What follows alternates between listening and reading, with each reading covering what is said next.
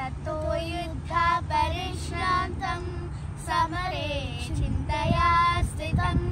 रावणं चाग्रतो दृष्ट्वा युद्धाय समुपस्थितम् दैवतेश्च समागम्य द्रष्टुमप्यागतो रणम् उपागम्य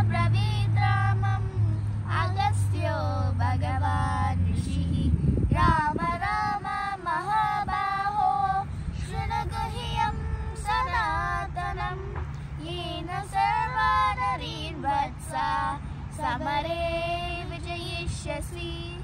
आदित्य हृदयं पुण्यं सर्वशत्रुविनाशनम् जयावहं जपे नित्यम् अक्षयं परमं शिवम्। सर्वमङ्गलमाङ्गल्यं सर्वपापप्रणाशनं। चिन्ताशोकप्रशमनं वायुर्वर्धनमुत्तमम् रश्मिमन्तं समुद्यन्तं देवासुरनमस्कृतं पूजयस्व विवस्वन्तम् भास्करं भुवनेश्वरं सर्वदेवात्मको एषः तेजस्वी रश्मिभावनः ईश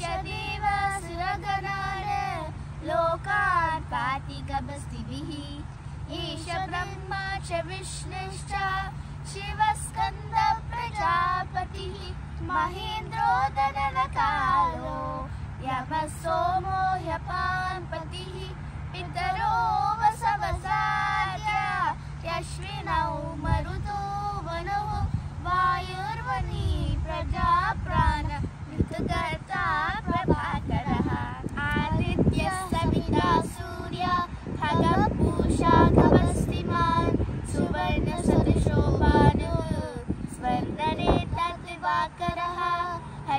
हरिदश्वः सहस्राचिः सप्त सप्तिर्मरीचिमान् तिमिरो मन्तरशम्भुष्वस्थं मातान्दायं शुमान्। हिरण्यगर्भः शिशिरास्तपनो भास्करो रविः अग्निगर्भोदिते पुत्रः शङ्खशिशिरानाशनः।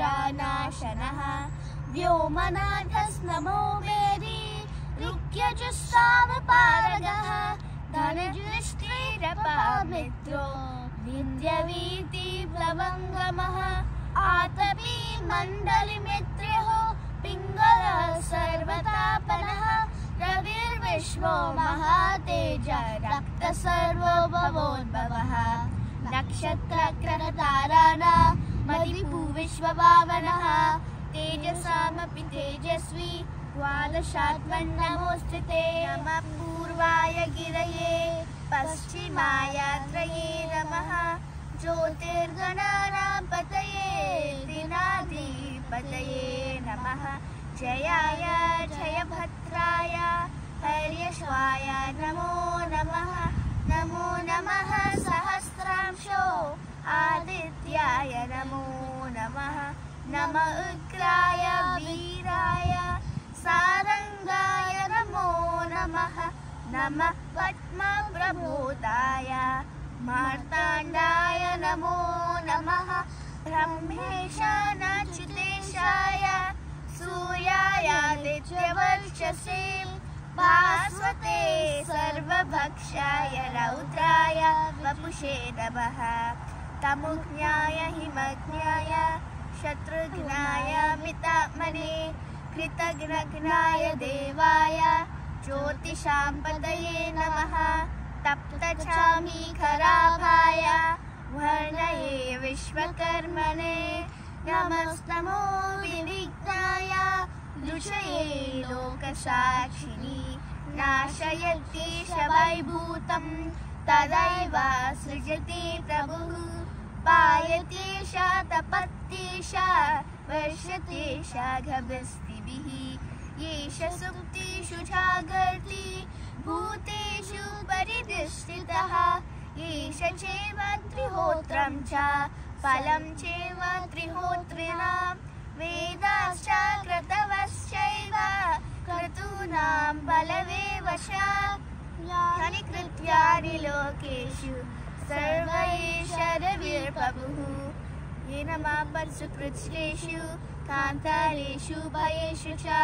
कीर्तयन् पुरुसर्गश्चि नामसीदली राघवा न पूजयस्वै नमेकाग्रो देवदेवं जगर्पतिं येन तत् जप्त्वा युद्धेषु भजयेष्यसि अस्मिन् क्षणे महाबाहो रावणं त्वं वजिष्यसि एवमुत्वा तदागस्थ्यो जगामाचायतागत महातेज, नष्टशोको ववत्तडा तारयामास सुप्रीतु, राघव प्रयतात्म आदित्यं प्रेक्ष्य जप्त्वा तु परं हर्षमवाप्रवान् त्रिराक्षम्य शुचिर्भूत्वा धनुराधाय वीर्यवान्, रावणं प्रेक्ष्य रिष्टात्मा युद्धाय समुपागतम्। सर्वयत्नेन महतान् वदेत स्मृतो भवत्। अतिरविरवदनिरीक्ष्यामम् मुदितवनाबलमं प्रविष्ट्यमानः। निश्चलपतिसमक्षं विदित्वा सुरगणमध्यगतोर्वचस्वरेति इति